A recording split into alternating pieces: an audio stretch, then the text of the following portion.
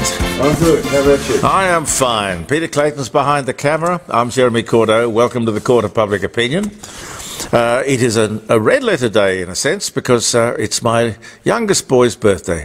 Christa Bubbles, as we called him. Christa Bubbles. Well, it's not his official name, you understand. It's Christopher, named after my brother. And uh, he was born. Uh, what did Caroline say? Um, Christa Bubbles the Magnificent's birthday.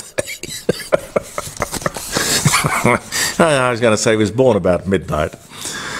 Uh, I wish children could be born at, you know, a predictable, civilized time. You know, you don't want to race, be racing off to hospital. Although Adelaide's kind of nice because where we are up at Glen Osmond, it's only a just a quick drive down a couple of roads and you're at the Burnside Hospital. Everything is very close, very nice, very convenient. It's a very good place to live. In case somebody hasn't told you that, Adelaide, very nice place to live. Um, I do not hanker for the big smoke. This is just right for me. Uh, June the 23rd, 1974, the first extraterrestrial messages sent from Earth into space. God knows if anyone received it, or perhaps it's still rattling around out there somewhere. Uh, talking to you yesterday about um, Kris Kristofferson and Johnny Cash. It's June Carter Cash's birthday today. American Grammy Award winning country singer, the Carter family, the Johnny Cash show. She wrote Ring of Fire, which was a very good song, big hit for Johnny Cash. Actress. She was born in Maces Spring, Virginia. She died in 2003, but was born in 1929. Good life, well lived. Good life, well lived. Um, Harriet. Harriet, 2006. The Galapagos turtle, or tortoise. Are they tortoises or turtles? The really big ones, I mean. I think they're turtles. Yeah. Anyway, she died. She was born in 1830 and she lived to 2006. She was aged 176 years old. Just goes to show you that if you move very slowly and you've got a hard shell, you'll live longer. Dear Harriet, dear Harriet, Alan Turing, the British mathematician, computer scientist, the um, guy who cracked the Enigma code and was hounded to death because he was a homosexual.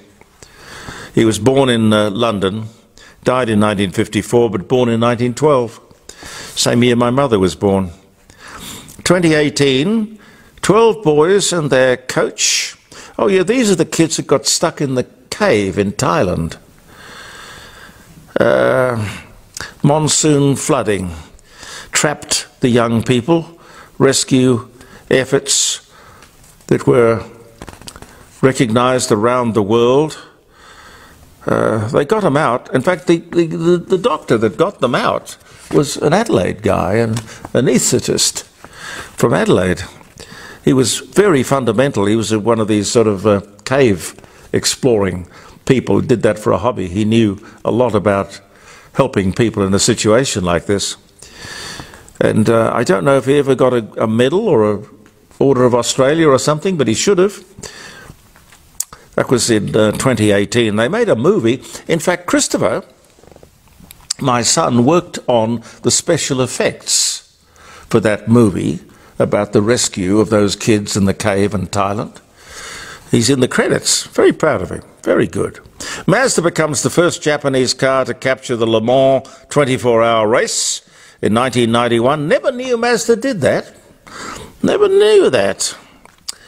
How the QWERTY keyboard was born.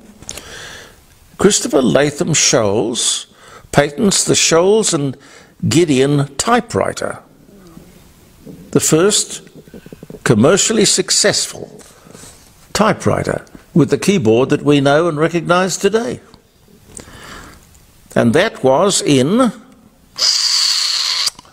1868. 1868. Uh, rocker Alice Cooper falls off the stage in Vancouver. he breaks eight ribs. no, six ribs, I'm sorry. Uh, 1975. I walked into the open door of the dishwasher in the kitchen two nights ago, and I have broken three ribs. It's all right unless you sneeze, or you cough, Or breathe. Oh, breathing's not good, no. Or laugh, it, it hurts. Anyway, you live and learn. What doesn't kill you, ladies and gentlemen, makes you stronger. True. Jonas Salk, American medical researcher and virologist who created the polio vaccine, he dies of a heart attack at the age of 80, and that was in 1995. He was, can you imagine how many lives that man saved over the years? Wonderful man. Jonas Salk, the Salk vaccine. Wiley Post and Harold Gatty take off on a flight around the world on this day in 1931. Uh, Claude Monet's water lilies sold at auction for $54 million. How could a bit of paint on a piece of canvas be worth 50 dollars? Don't make me laugh. $54 million. I ask you, ladies and gentlemen. Uh, oh, uh, uh, and, and, one that sort of makes most men's eyes water. 1993, Lorena Bobbitt. You remember Lorena? it's one you won't forget. Well, that's right. I mean, she brought the expression bobbit, turned it from a, a noun into a, a, verb or an adjective. A, a verb, yeah. Yes. Bobbited the poor old bloke. His name was John Wayne Bobbitt. I won't go into the details, but I'm sure you um, remember the story. Oh, oh, hang on, that's an interesting one. The uh, world's oldest parliament. Where do you reckon that would be, Pete? What? England? No. Rome. Rome. No, not Rome. Not Greece. I would have thought maybe Greece. Um, 930 was the year, and this was the day the world's oldest parliament, the Icelandic parliament, is established. Goodness me, Iceland. I didn't know that. I sit here, talk to you, and learn all sorts of interesting things. And thank you to all the people who comment on the stuff we do, and I do my best to keep up with everything and make sure I answer. Uh, Jill sent me something which I, I have to reply to. She picked me up on something I said the other day when I was discussing uh, the Brittany Higgins payout. Now, I wrongly attributed that to Scott Morrison, uh, and that wasn't right. Uh, it was the Labour government, it was signed off on by Mark Dreyfus, uh, the Attorney General, who I think is the only person who has the authority to sign off on significant claims against the Commonwealth. So that's how Brittany got her three million bucks, not from the coalition, but got it from Labour. Thank you, Jill. I appreciate that. You see, what I like about talking to you, and I loved it in radio, and I love it here, is that you are what I call the encyclopedia. You know everything.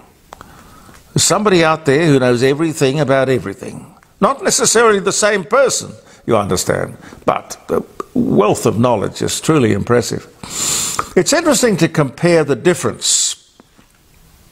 I was thinking the other day the difference in the way Philip Lowe, head of the Reserve Bank of Australia, and Jerome Powell, head of the Fed in the United States, are regarded over a very similar strategy in trying to control inflation. Now, Governor Lowe tries to explain, cajole, persuade, argue about the interest rates, I mean. Mr. Powell says, I, I think this is probably pretty close, but don't, don't, it's not exactly verbatim, but getting inflation down is not the most important thing, it is the only thing. My total priority is to bring inflation down to under 2%. And I will not stop lifting interest rates until we get there. Now, this guy's got a job to do, and he's doing it. Both these guys have got jobs to do. Now, for doing his job, Philip Lowe becomes the public whipping boy in fear of losing his job.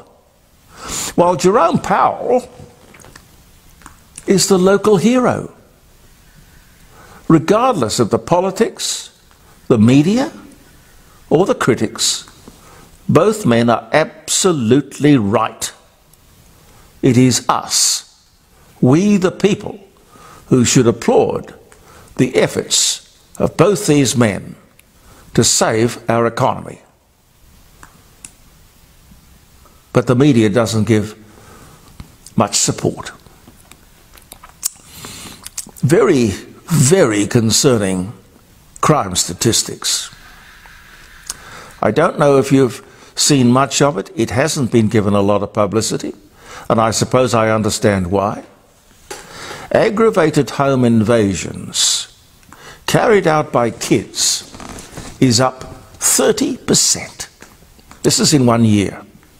Crime generally a growing problem, but particularly crime which involves kids between the ages of 10 and 15. 10 and 15. This statistic is up 83%. 83% in one year. What are we doing? Pretty close to looking the other way, I would say. You can't possibly get away with having crime statistics, figures like that. As I say, not that they've been given a lot of publicity, but they should have been. Um, I don't know if you get these um, things in the mail, the bowel cancer kit. They don't send them to me because I think I'm too old. Uh, everyone gets one from the age of 50, I think, to 76. Uh, but this is the disturbing bit. It's only two people out of every five who take advantage of that test. Now, it may be a great idea, but it seems like a terribly wasteful way of doing things. And then they spend, apart from distributing the kit, there's a huge amount of money they spend on advertising. You know, I, I, I, do the uh, campaign for them. I just say, if you get this in the mail, don't sit on it. Oh, I'm sorry, do sit on it. I forget it. You've got to get people's attention, I think. Top marks of the government for saying no and acting quickly to pass a law to prevent the Russians from building their embassy on the land right next door to Parliament House in Canberra. Their existing embassy, the Russians, positively bristles with high tech intelligence gathering antenna. And you really wouldn't want that between Parliament House and the Telstra Tower, which is exactly what you'd get if they built on that block of land. And speaking of the Russians, I see that they have banned, and I think I'd probably agree with it. I'd want to know more about it, but I see they have banned all gender reassignment surgery. Interesting. Uh, we did the thing last week, I think. The, the things that failed, glorious failures. Uh, the things that never caught on. But what about the things that unfortunately did catch on? Some of them more a flash in the pan, I suppose. Some of them didn't really stay long. And some of them, of course, are still with us. But they all have something in common. It could be, you know, that we as humans need a fad or two, a craze. Don't know. Um, the limbo, Rubik's Cube, the miniskirt. I mean, some of it's fashion, rock and roll, climate change, the yo yo, the hula hoop. It could be a product. The pill? Hmm? Yep. It could be a product, a fashion, or a syndrome. Ah, yes, the syndromes. Chronic fatigue syndrome came right out of the blue, as did repetition strain injury, women's lib, all this LGBTIQ stuff, transgender people, all, let me see, uh, 1,264 of them in Australia, according to the last census. You'd swear there were millions if you listen to the media. Whatever happened to salt damp? Now, when I came to Adelaide in the 70s and into the 80s, salt damp was a huge thing in Australia. Well, in South Australia particularly, the salt was coming up from the ground and eating away the bricks and the masonry a bit like repetition strain injury. Disappeared, gone. And don't forget southern in, sudden infant death syndrome. Hmm? Uh, Brexit. Ah, Brexit. Brexit would destroy the UK. Far from it.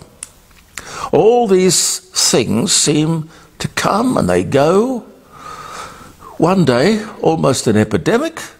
The next, not mentioned much at all. COVID comes to mind, and we never question what manipulation there is behind all these things. Postnatal depression. Uh, there was a thing that was rattling around years ago called, called, called the baby blues. No big deal, baby blues. In the media, the organ grinder, well, maybe, maybe the media is the organ grinder and we're the monkey. Does it all come from?